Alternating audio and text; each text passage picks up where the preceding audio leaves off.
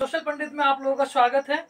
तो आज का टॉपिक लेके आया हूँ आप लोगों के लिए मौलिक अधिकार। बहुत सारे लोगों का ऐसा सजेशन आ रहा था कि हिंदी में कुछ ऐसा बनाया जाए जो हम लोगों के लिए हेल्पफुल हो। ठीक है?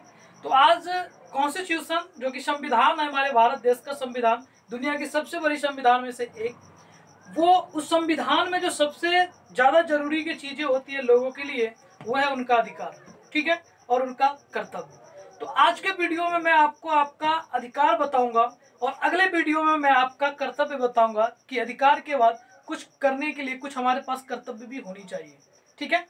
तो हम लोग बात करते हैं मौलिक अधिकार की, जो संवैधानिक अधिकार है। ठीक है? हर किसी को ये अधिकार कॉन्स्टिट्यूशन के बनने के बाद ही मिल गई थी। ठीक है?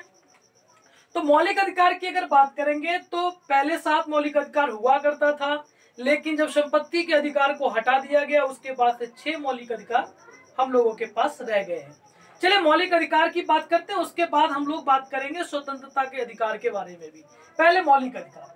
मौलिक अधिकार में पहला अधिकार है क्षमता का अधिकार, फिर उसके बाद शोषण के विरुद्ध अधिकार, उसके बाद संस्कृति और शिक्षा का अधिकार, उसके बाद धार्मिक स्वतंत्रता का अधिकार, संवैधानिक उपचारों का अधिकार और स्वतंत्रता यानी कि स्वतंत्रता का अधिकार। ये सारे अधिकार जो है, मैंने छह अधिकार बताया आपको, ये सबके सब मौलिक अधिकार है, ठीक है?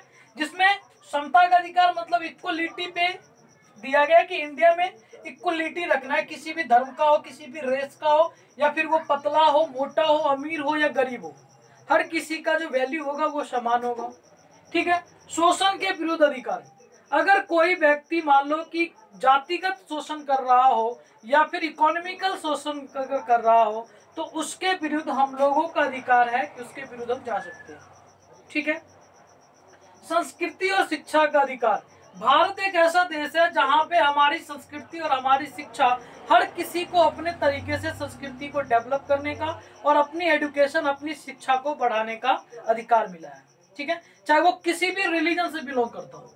चाहे वो इस्लाम से हो, हिंदू हो, मुस्लिम हो, सिख हो, ईसाई हो, या फिर जरथुष्ट हो, बौद्ध हो, जैन हो, किसी भी धर्म को ऐसा नहीं बताया गया कि आप इस धर्म को फॉलो करो या फिर ये लैंग्वेज करो। सबको अपना अधिकार है कि अपने कल्चर के डेवलपमेंट के लिए, अपनी शिक्षा के डेवलपमेंट के लिए, या फिर अपनी भाषा के डेवलपमेंट के लिए कार्य कर सकते हैं। ठीक है?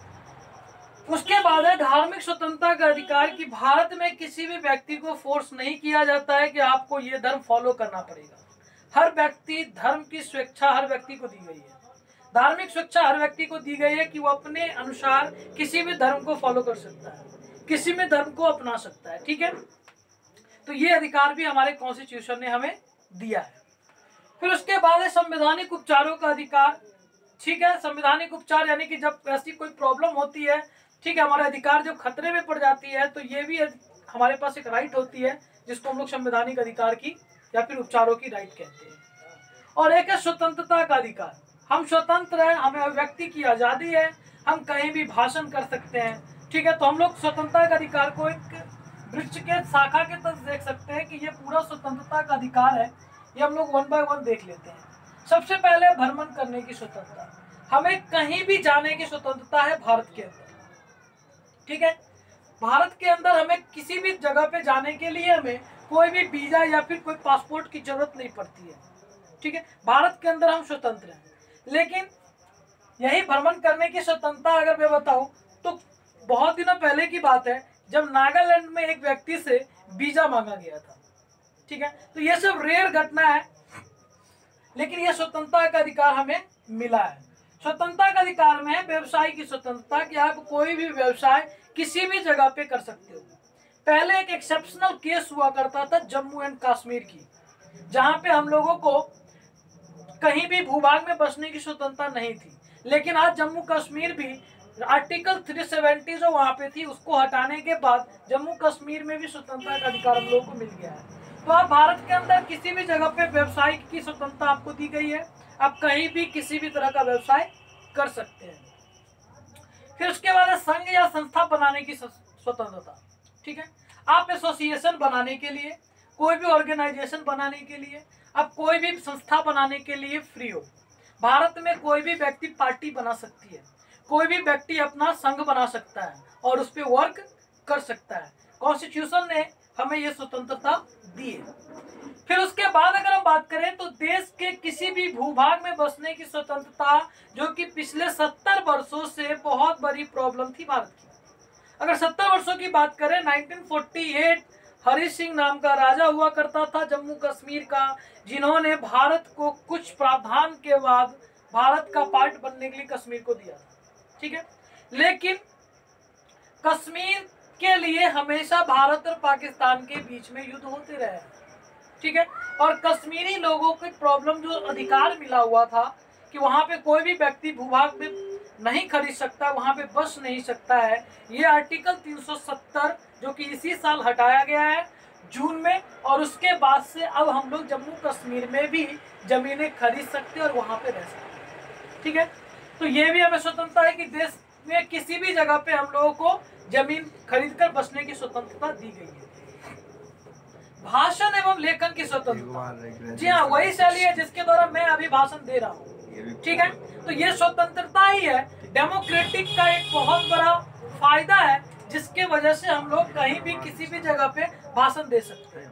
तो भाषण या फिर कुछ लिख सकते हैं। लेकिन लिखने और भाषण देने का एक सीमा होती है और वो सीमा के अंदर ही हमें रहना होता है। हम कोई भी भाषण ऐसा नहीं देंगे जो कि धर्म के आधार पे हो या फिर भाषा ऐसी ना हो जिससे बहुत सारे एक समुदाय को प्रॉब्लम हो जाए। ठीक है? तो हमें भाषा में कंट्रोल होना भी ज़रूरी है। स्वतंत्रता हमें ज़रूर मिली है भाषण देने की, लेकिन हम बेवजह कुछ भी भाषण नहीं दे सकते हैं। उसके लिए क्राइटेरिया बनाई गई उस क्राइटेरिया के अंदर ही आप भाषण या फिर लेखन कर सकते हैं। तो स्वतंत्रता का अधिकार में भ्रमण करने की स्वतंत्रता, फिर हम लोगों ने देखा व्यवसाय की स्वतंत्रता, संघ या संस्था बनाने की स्वतंत्रता देश के किसी भी भूभाग में बसने की स्वतंत्रता या फिर बात करें भाषण और लेखन की स्वतंत्रता, ये टोटल के टोटल फंडामेंटल राइट्स हमें कॉन्स्टिट्यूशन ने प्रोवाइड किया है, ठीक है? और हम लोग ये अधिकार को तो हमेशा अपने अधिकार का डिमांड करते हैं। बहुत सारे वर्ग ऐसे भी हैं जो इसका डिमांड भी नहीं कर पाते हैं, क्योंकि उनको ये पता ही नहीं है कि हमारा अधिकार क्या है, मौलिक अधिकार क्या है, जो कि किसी भी व्यक्ति को जन्म लेने के बाद ही उनको ये अधिकार मिल जाती है। ठीक है? भारत के बहुत सारे ऐसे समुदाय है जो मौलिक अधिकार से आज भी वंचित है। ठीक है? या फिर मौलिक अधिकार की रक्षा करने वाले जो लोग हैं, वो उनको वंचित करके रखे। हैं देखेंगे, इस वीडियो के बाद एक मौलिक कर्तव्य वाली वीडियो, और उसके बाद हम लोग सिविक्स में और भी आगे चीज़ पढ़ेंगे। तब तक के लिए धन्यवाद।